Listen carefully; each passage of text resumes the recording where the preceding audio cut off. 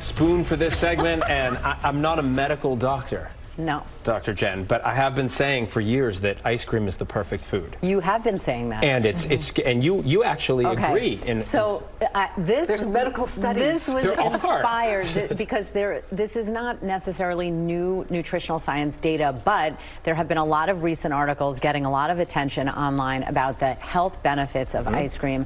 And I will tell you now, when I got my degree in nutrition, I started to say with those credentials backing me up that ice cream really can be a perfect food. And I'm going to tell you why. Right. There's calcium, there's protein, there's fat in it.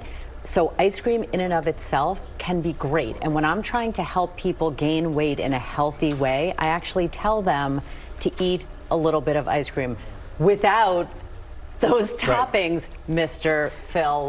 It's really good with like Heath Bar and Snickers. Yeah, no. No. That's okay. where it jumps the track. But okay. when you talk about um, some of the data, it has shown an association. So again, that's observation, uh, not causation, between people who ate a small amount of ice cream minus the toppings okay. with an associated lower risk for heart problems, in particular for people who were uh, type 2 diabetic.